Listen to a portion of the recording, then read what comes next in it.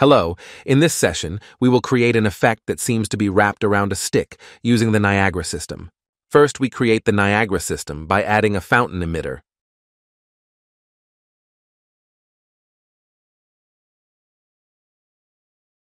To generate a large number of particles, we set the sim target to GPU and configure the local space.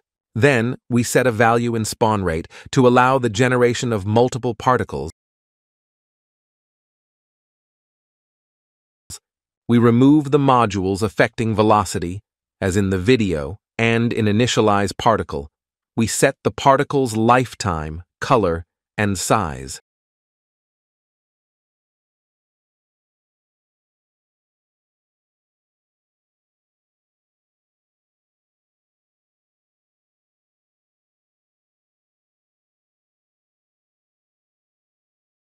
Next, in shape location, we set the shape primitive to box and set only the z value in box size to let the particles generate in the location of the stick shape.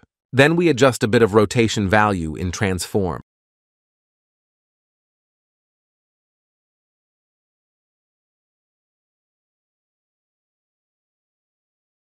Next, to give the particles a spreading movement, we create vortex velocity and set values in amount and axis.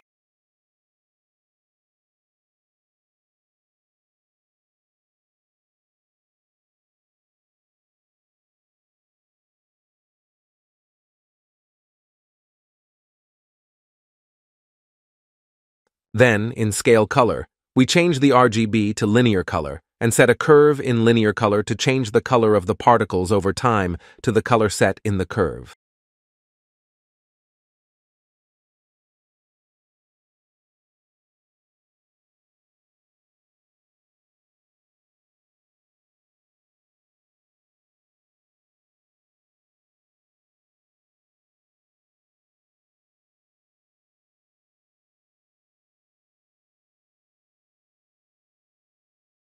We also set the alpha value of scale color to make the particles gradually become clear when they are created.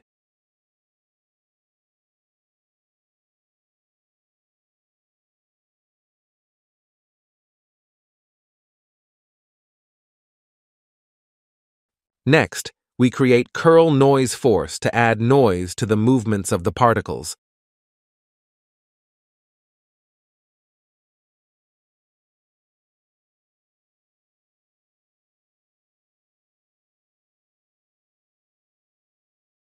Then, to make the particles that had spread out return to the stick, we create a point attraction force node and set a curve in attraction strength.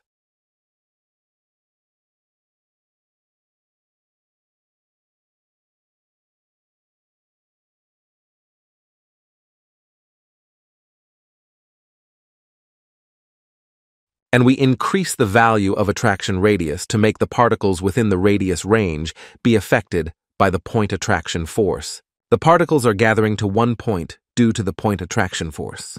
To make this gathered location into a stick, we find the shape position attribute provided by the shape location module and set it in attractor position offset. We raise the value in drag to reduce the spreading speed.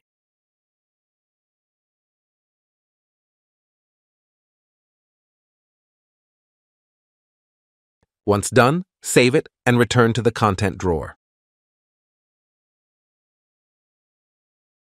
Next, we create a material to set on the stick.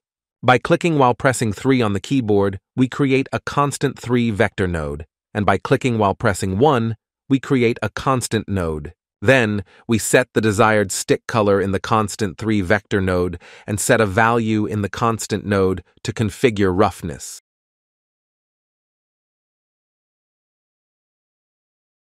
Next, we place a cylinder mesh in the level from Place Actor. Then we set the position and size of the mesh and set the material we just made.